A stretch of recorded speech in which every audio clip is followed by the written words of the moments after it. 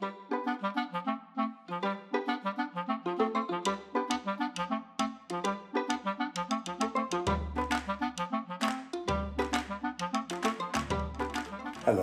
I'm Siôn Ap Tomos and I'm an illustrator and maker from North Wales. Uh, as an illustrator I do lots and lots of drawing and as a maker I love uh, working with cardboard in particular and I'm often making things for activities where other people can join in and make also a little bit like this one.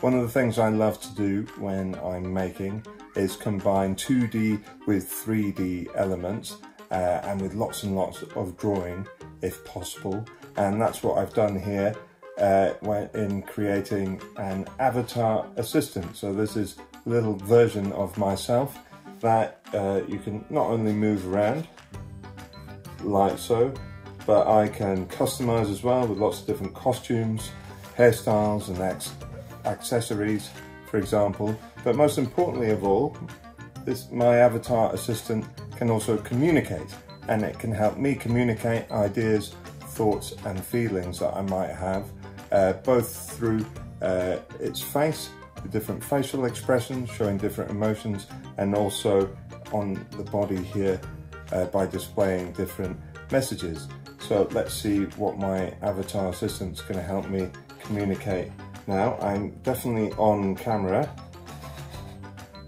and yes, it's definitely making me nervous being on camera. And what else have you got to say? Ah, question, are we doing okay? Yes, I'm wondering whether we're doing okay as well. And I'm sharing uh, your concern, but I think we are.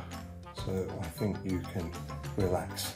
Uh, so in my Maker Challenge, I've created lots of activities and how-to guides that will help you to create your own avatar assistant and that you can customize just how you want the different costumes, uh, create the different kind of faces you want and also display uh, different messages to help you communicate your thoughts, ideas and feelings.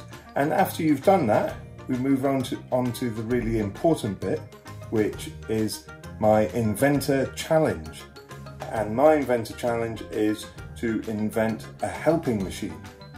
Okay, so this is something that could uh, help you or someone you know do something that they find difficult to do. Have a think about that and then when you come up with an idea, make sure to draw it on one of the little inventors invention sheets or onto a blank piece of paper and uh, upload it onto the website.